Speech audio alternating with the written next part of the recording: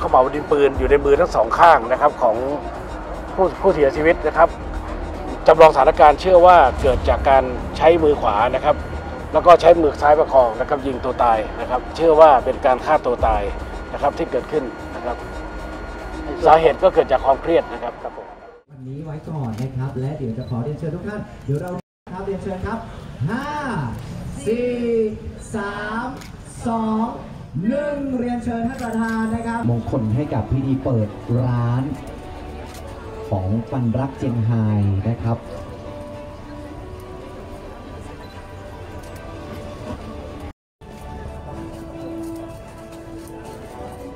และเดี๋ยวหลังจากที่ได้ให้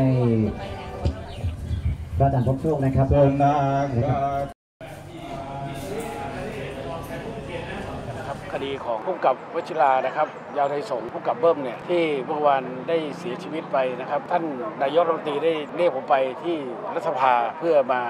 กำชับให้รีบทำคดีให้กระจ่างให้ได้โดยเร็วนะครับ เพื่อเพราะไม่อยากให้เกิดความสับสนขึ้นมาในหมู่ของพี่น้องประชาชน แล้วก็ท่านได้แสดงความเสียใจให้กับการสูญเสียในครั้งนี้นะครับ เมื่อวานผม ได้สั่งการให้ผู้จัดการตำรวจภูธรภาคหนึ่งนะครับได้ไปดูสถานที่เกิดเหตุด้วยตนเองนะครับแล้วก็จากการรวบรวมพยานหลักฐาน ตั้งแต่เมื่อวานนี้จนถึงตอนนี้นะครับเราก็ได้หลักฐานค่อนข้างชัดเจนนะครับ คือผลการชันสูตรนะครับจากแพทย์นิติเวชนะครับแล้วก็ของกองพิสูจน์หลักฐานรวมทั้งพนักงานสอบสวน แล้วก็พนักงานสืบสวนของตำรวจภูธรภาคหนึ่งนะครับทั้งหมดทั้งระดับภาคระดับจังหวัด ซึ่งร่วมกันมาทำงานร่วมกัน นะครับ เราก็ได้เห็นไทม์ไลน์นะครับว่าก่อนเกิดเหตุนะครับ ท่านผู้กำกับวชิราเนี่ยท่านได้ไปทานข้าวกับเพื่อนนะครับ แล้วซึ่งลักษณะที่เราได้พบเห็นจากคำบอกเล่านะครับ การสอบเพื่อนนะครับก็คือเป็นลักษณะที่มีความเครียดนะครับ เหมือนกับทานข้าวไม่ค่อยลงนะครับแล้วก็บ่นเรื่องเครียดนะครับที่ทำให้สารวัตรแบงค์เสียชีวิต แล้วก็เกิดจากความเครียดที่อาจจะมี เขามาต่างๆนะครับ เพื่อนๆก็บอกว่าให้พักที่นอนที่โรงแรมก่อนนะครับ ก่อนกลับบ้านในตอนเช้า แต่ปรากฏว่าประมาณตีสี่ก็ได้เห็นว่ามีออกมาจากโรงแรมนะครับ เพื่อนั่งแท็กซี่กลับไปที่บ้านพักที่คูคตต้องวงจรปิดที่หน้าบ้านนะครับ ว่าเข้าไปตั้งแต่ตีสี่ห้าสิบเอ็ดและเนื่องจากว่ากุญแจเนี่ยคงจะติดอยู่ที่รถของตัวเอง แต่ตัวเองมาแท็กซี่ ก็เลยต้องปีนเข้าไป แต่ก็กดรหัสเข้าไปแล้วอีกประมาณ 4 นาทีนะครับ ก็ได้ยินเสียงปืนจากกล้องวงจรปิด ภาพและเสียงจากข้างบ้านนะครับหนึ่งนัด หลังจากนั้นแล้วนะครับช่วงบ่ายนะครับก็มีลูกน้องด้วยเพื่อนด้วยที่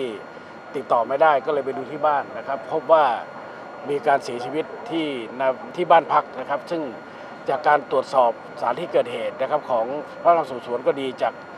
ออพอถอก็ดีนะครับ ทุกอย่างก็เจอสมว่าไม่มีร่องรอย ไม่มีอะไรต่าง และกล้องจรปิดก็ยังไม่มี ก่อนเกิดเหตุหรือหลังเกิดเหตุก็ไม่มีใครเข้าไปยุ่งเกี่ยวในบ้านนะครับ จากหลักฐานจากการเก็บขม่าวดินปืน ในระบบเครื่องมือที่ทันสมัยของพ่อถอเมื่อเช้านี้ก็พิสูจน์ทราบมาแล้วว่า พบขม่าวดินปืนอยู่ในมือทั้งสองข้างนะครับของผู้เสียชีวิตนะครับจำลองสถานการณ์เชื่อว่าเกิดจากการใช้มือขวานะครับ แล้วก็ใช้มือซ้ายประคองนะครับยิงตัวตายนะครับ ซึ่งหลักฐานต่างๆนี้ก็โดยกล่าวโดยสรุปคือณขณะนี้ก็คือน่าเชื่อว่าเป็นการฆ่าตัวตาย นะครับที่เกิดขึ้นสาเหตุก็เกิดจากความเครียดนะครับการที่โลบุกของที่ทำความสะอาดเนยนะฮะอ่าเป็นอัตโนมัติเป็นอัตโนมัติครับแสดตั้งเวลาก็บไก่อนด้วยนะครับผมเป็นการตั้งเวลาครับ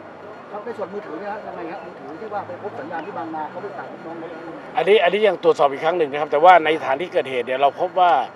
เอ่อลักษณะการเกิดเหตุเนี่ยไม่มีใครไปยุ่งเกี่ยวนะครับ แล้วก็จากหลักฐานทางนิติวิทยาศาสตร์ก็ดี หลักฐานจากกล้องวงจรปิดก็ดี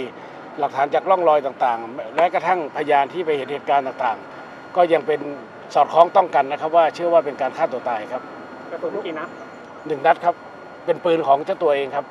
ตกลงว่าตอนตอนที่แกก่อนเสียชีวิตแกเปิดตัวนั้นเปิดไว้เลยใช่ไหมครับคือน่าจะเปิดไว้ก่อนนะฮะก่อนก่อนอาจจะเปิดไว้ก่อนที่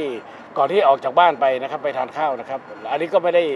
เอ่อไม่ไม่ได้เป็นประเด็นอะไรนะครับ ลักษณะท่าทางการตายแกเป็นลักษณะไหนครับ ก็ก็เป็นลักษณะที่ที่บอกให้จำลองเหตุการณ์จากการ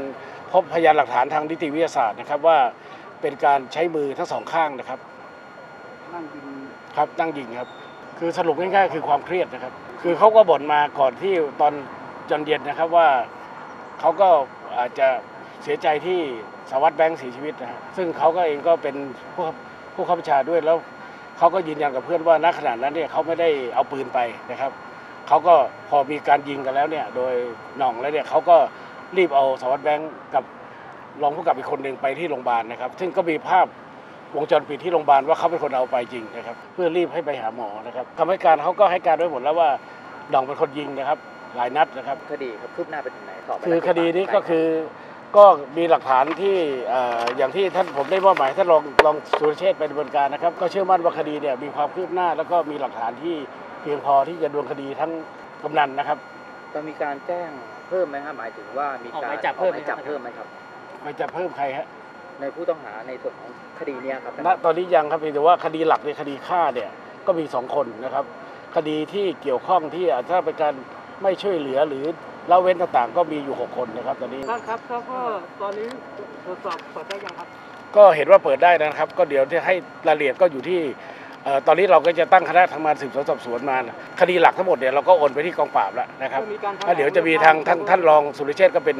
หัวหน้าคณะทำงานเรื่องนี้นะครับจะแถลงภาพในตัวคงเดี๋ยวต้องคงดูให้รายละเอียดต่อไปนะครับเอาเป็นเรื่องวันนี้ที่ผมจะเอ่อได้รับมอบหมายบอกว่าท่านนายกรัฐมนตรีเนี่ยท่านเป็นห่วง ท่านไม่อยากให้เอ่อเกิดข้อข้อสงสัยในประเด็นที่เรื่องของการเกิดเหตุขึ้นที่ของผู้กำกับนะครับว่า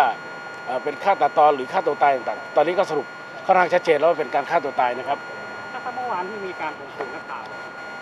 ให้มีการตรวจสอบ อันนี้ผมยังไม่ได้ไปตรวจสอบละเอียดนะครับ ขอเวลาตรวจสอบแล้วกันนะครับ